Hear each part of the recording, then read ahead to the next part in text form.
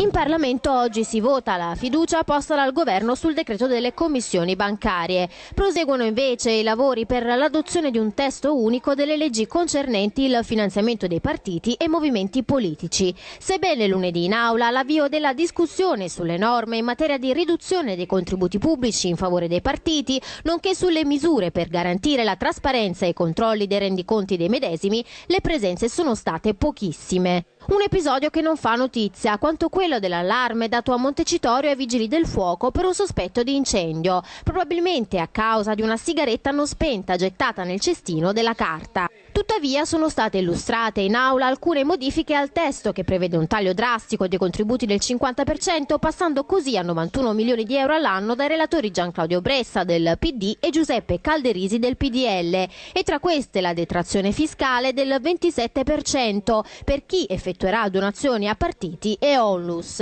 Un emendamento messo a punto dai relatori stessi ammorbidirà invece il vincolo che prevede che i fondi pubblici vadano solo ai partiti che abbiano almeno un eletto in Parlamento, al Parlamento europeo o al Consiglio regionale. Resta la condizione dell'eletto per accedere al 70% dei finanziamenti pubblici, mentre per quanto riguarda il cofinanziamento, ossia il 30% che arriverà dalle erogazioni dei privati, basterà raggiungere la quota del 2% dei voti validi anche senza eletto. E mentre l'onorevole Di Pietro, fuori Palazzo Montecitorio, raccoglie 200.000 firme a sostegno di una legge di iniziativa popolare per l'abrogazione del finanziamento pubblico, alla seduta presieduta da Maurizio Lupi, l'onorevole Barbato, che ha svelato con la sua telecamera le insidie nascoste ai piani alti di Montecitorio, si autosospende da deputato. In seguito all'apparizione del suo nome in un'inchiesta della Procura di Napoli, in cui risulta che avrebbe richiesto 20.000 euro per aiutare l'imprenditore Viscione nel tentativo di salvare la sua società.